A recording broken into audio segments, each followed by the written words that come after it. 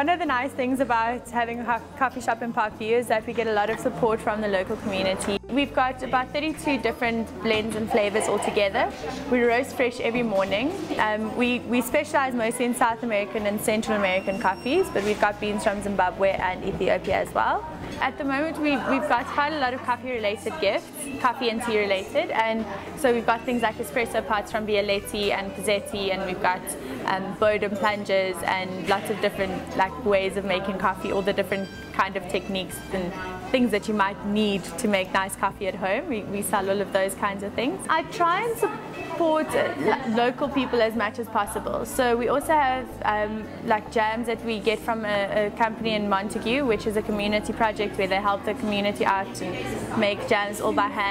We also have some sweets called Annalisa sweets, which is like a combination of Lindt chocolate and caramel and all these delicious things. We make the best pancakes, so we, we're kind of known for our pancakes in Parkview. We've got jazz on a Saturday morning from 10 to 12. It's really become like quite a big thing. I like the fact that everyone feels like a family when they come here.